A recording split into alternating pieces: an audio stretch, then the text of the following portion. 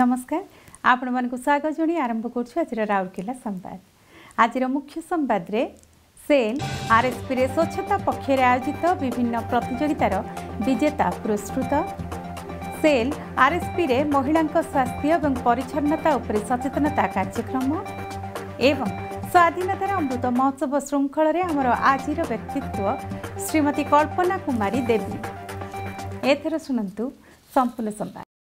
Cell Rourkela ଇସ୍ପାତ କାରଖାନାରେ ସ୍ୱଚ୍ଛତା ପକ୍ଷ ଦୁଇହଜାର ବାଇଶ ପାଳନ ଅବସରରେ ଆୟୋଜିତ ବିଭିନ୍ନ ପ୍ରତିଯୋଗିତାରେ ବିଜେତାଙ୍କୁ ମେ ତେଇଶ ତାରିଖରେ ଇଡି ୱାର୍କ ସମ୍ମିଳନୀ କକ୍ଷଠାରେ ଅନୁଷ୍ଠିତ ଏକ କାର୍ଯ୍ୟକ୍ରମରେ କାର୍ଯ୍ୟ ବିଭାଗର ନିର୍ବାହୀ ନିର୍ଦ୍ଦେଶକ ଶ୍ରୀ ଏସ୍ ଆର୍ ସୂର୍ଯ୍ୟବଂଶୀ ପୁରସ୍କୃତ କରିଥିଲେ ଏହି ଅବସରରେ କାର୍ମିକ କାର୍ଯ୍ୟ ବିଭାଗର ଭାରପ୍ରାପ୍ତ ମହାପ୍ରବନ୍ଧକ ଶ୍ରୀ ଧୀରେନ୍ଦ୍ର ମିଶ୍ର କାର୍ମିକ ବିଭାଗର ମହାପ୍ରବନ୍ଧକ ଶ୍ରୀ ସଞ୍ଜୟ ମେହରୋତ୍ରା ଏବଂ ଅନ୍ୟ ଅଧିକାରୀମାନେ ଉପସ୍ଥିତ ଥିଲେ উৎসবের মোট বার জন কর্মচারী নগদ পুরস্কার এবং সার্টিফিকেট প্রদান করা যাইছিলা।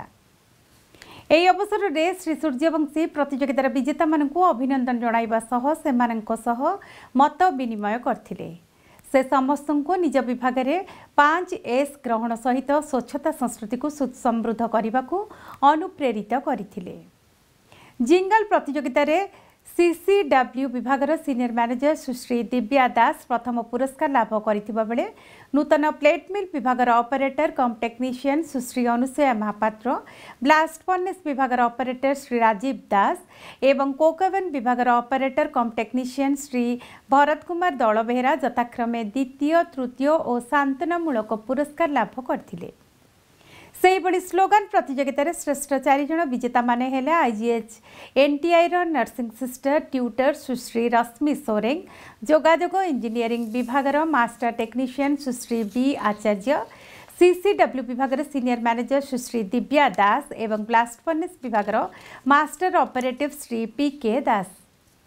ଅନୁରୂପ ଭାବେ ପେଣ୍ଟିଂ ପ୍ରତିଯୋଗିତାର ପ୍ରଥମ ଦ୍ୱିତୀୟ ତୃତୀୟ ଏବଂ ଚତୁର୍ଥ ପୁରସ୍କାର ବିଜେତାମାନେ ହେଲେ ଏଏସ୍ଏମ୍ଏସ୍ ଦୁଇ ବିଭାଗର ଏସ୍ଓଏସ୍ଟି ଶ୍ରୀ ଆରତ କୁମାର ମାଝୀ ପାଇପଲାଇନ୍ ବିଭାଗର senior operative Shri Badal Kumar Kar HRD ବିଭାଗର ସିନିୟର ଇନ୍ଷ୍ଟ୍ରକ୍ଟର ସୁଶ୍ରୀ ରାଜଲକ୍ଷ୍ମୀ ଆଚାର୍ଯ୍ୟ ଏବଂ କୋକଭେନ୍ ବିଭାଗର ଅପରେଟର ଶ୍ରୀ ଦୀପକ କୁମାର ଦେ ପ୍ରାରମ୍ଭରେ ଶ୍ରୀ ମିଶ୍ର ସ୍ୱାଗତ ଅଭିଭାଷଣ ପ୍ରଦାନ କରିଥିଲେ ଏବଂ ସ୍ୱଚ୍ଛତା ପ୍ରତିଯୋଗିତାଗୁଡ଼ିକର ଆଭିମୁଖ୍ୟ ବିଷୟରେ ବର୍ଣ୍ଣନା କରିଥିଲେ ଶ୍ରୀ ମେହରୋତ୍ରା ଧନ୍ୟବାଦ ଅର୍ପଣ କରିଥିଲେ କାର୍ମିକ ବିଭାଗର ମ୍ୟାନେଜର ଶ୍ରୀ ସଞ୍ଜୀବ କୁମାର ବେହେରା ବିଭାଗର ଶ୍ରୀ ସୁବୀର କୁମାର ସିଂ ଏବଂ ଶ୍ରୀ ବି କିରଣ କୁମାରଙ୍କ ସହଯୋଗରେ କାର୍ଯ୍ୟକ୍ରମ ସଂଯୋଜନା କରିଥିଲେ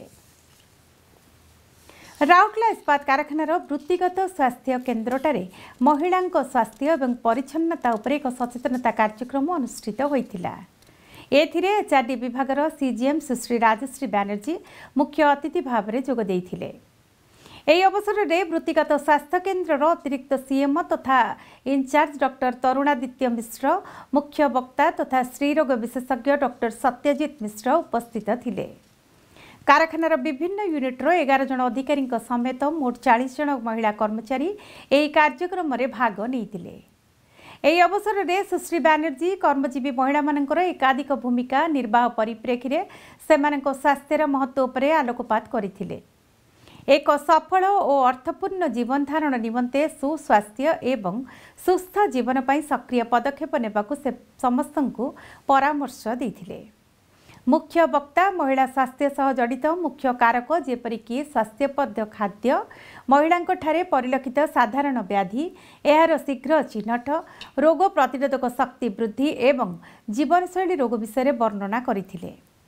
ପରବର୍ତ୍ତୀ ଅବସ୍ଥାରେ ଅବାଞ୍ଛିତ ଜଟିଳତାକୁ ଦୂର କରିବା ପାଇଁ ସମସ୍ତଙ୍କୁ ନିୟମିତ ସ୍ୱାସ୍ଥ୍ୟ ଯାଞ୍ଚ କରିବାକୁ ସେ ପରାମର୍ଶ ଦେଇଥିଲେ। ବୈଷୟିକ ଅଧିବେଶନ ପରେ ମତ ବିନିମୟ ଅନୁଷ୍ଠିତ ହୋଇଥିଲା। ଏଥିରେ ଅଂଶଗ୍ରହଣକାରୀମାନେ ଉତ୍ସାହର ସହିତ ନିଜର ଦ୍ୱନ୍ଦ୍ୱ ଦୂର କରିବା ସହିତ ବିଭିନ୍ନ ସମାଧାନ ପନ୍ଥା ବିଷୟରେ ଅବଗତ ହୋଇଥିଲେ। ପ୍ରାରମ୍ଭରେ ଡକ୍ଟର ମିଶ୍ର ଅଂଶଗ୍ରହଣକାରୀମାନଙ୍କୁ ସ୍ୱାଗତ କରିଥିଲେ ଏବଂ ବୃତ୍ତିଗତ ସ୍ୱାସ୍ଥ୍ୟ କେନ୍ଦ୍ରର କାର୍ଯ୍ୟଧାରା ଉପରେ ଆଲୋକପାତ କରିଥିଲେ। Senior DMO doctor Surendra Kumar ଧନ୍ୟବାଦ ଅର୍ପଣ କରିଥିବା ବେଳେ ବୃତ୍ତିଗତ ସ୍ୱଚ୍ଛତା technician Shri K C Pradhan କାର୍ଯ୍ୟକ୍ରମ ସଂଯୋଜନା କରିଥିଲେ। ସେଲ୍ ରାଉରକେଲା ଇସ୍ପାତ କାରଖାନା ସ୍ୱାଧୀନତାର ଅମୃତ ମହୋତ୍ସବ ପର୍ବ ପାଳନ ଉପଲକ୍ଷେ ଓଡ଼ିଶାର ବିଶିଷ୍ଟ ବ୍ୟକ୍ତିତ୍ୱଙ୍କ ଉପରେ ଅନେକ ଖବର ଉପସ୍ଥାପନା କରୁଛି ଏହି କ୍ରମରେ ଆମର ଆଜିର ବ୍ୟକ୍ତିତ୍ୱ ହେଉଛନ୍ତି ଶ୍ରୀମତୀ କଳ୍ପନା କୁମାରୀ ଦେବୀ ଉଣେଇଶହ ଛତିଶରେ ଜନ୍ମଗ୍ରହଣ କରିଥିଲେ କଳ୍ପନା ଦେବୀ ଓଡ଼ିଆ ଭାଷାରେ ଜଣେ ଅତ୍ୟନ୍ତ ଖ୍ୟାତିସମ୍ପନ୍ନ ଆଧୁନିକ ଉପନ୍ୟାସକାର ଥିଲେ ସାମାଜିକ ଉତ୍ତରଦାୟିତ୍ୱ ଏବଂ ମାନବିକତାର ସୁସମାଚାର ସହିତ ସମୃଦ୍ଧ ତାଙ୍କର ଉପନ୍ୟାସଗୁଡ଼ିକରେ ତାଙ୍କର ପ୍ରକୃତିର ପ୍ରାକୃତିକ ସୌନ୍ଦର୍ଯ୍ୟ ପ୍ରତି ଦୁର୍ବଳତା ପ୍ରତିଫଳିତ ହୋଇଥିଲା। ସେ ତାଙ୍କ ଉପନ୍ୟାସରେ ମାନବ ଚରିତ୍ରଗୁଡ଼ିକୁ ବିଶ୍ଳେଷଣ କରିବାରେ ଉତ୍କୃଷ୍ଟ ଥିଲେ।